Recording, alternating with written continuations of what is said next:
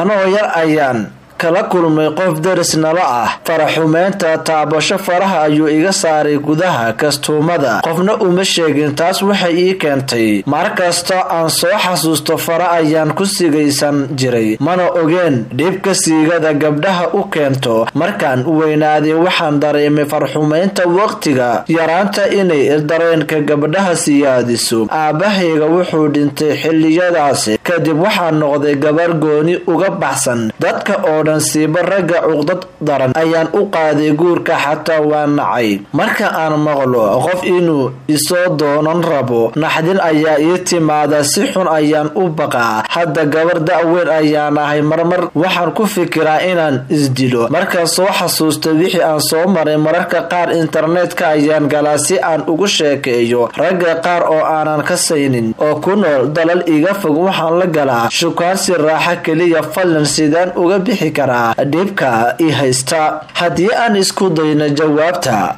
dhacdooyinka qofka uu la kulmo marka uu yar yahay saameyn weyn ayay ku yeelanayaan. Qofka marka uu weynaado siiba dhacdada kufsiga ama farxumeyntaas waxay ku abuuraysaa wiilka ama gabadha dhibaatadaas ay ku dhacday inay noqdaan dad noloshooda aan lahayn deganaan marka waxaan kula talinaynaa wixii hore kuugu dhacay iska ilow nolol cusub bilaabo waayo adiga waad yareete teeda kalena wax adiga aad kas u samaysay ma aha. Waa wax xoog iyo qasab ah. Marka qofka kugu sameeya ayaa dembiga loo haystaa dhacdadaas hore u dhacdeeyaysan nolosha kaa halaynin marka iska ilow wixii dhacay. Isku day inaad guursato qof wanaagsan oo jacayl iyo tixgelin aad ka heli karto diinta ku dheg alle diintiisa ku dhaqan. Wixii ku soo xasuusin karo xumaantaas oo dhan ka fogow. Waayo shaydaanka laftiisa wuxuu sii weynaynayaa. Dhacdadaas kugu dhacday ilaa aad naftaada disho. Taasna waa wixii uu kaa reebay shaydaanka yoolka. Shaydaanka ha u dhabaynin iska jir. Xaalada aad la kulantay. Inay noloshaada xumaysa taas waxaa laga yaabaa inay meel xun kugu rido haddii aad naftaada sii dabagasho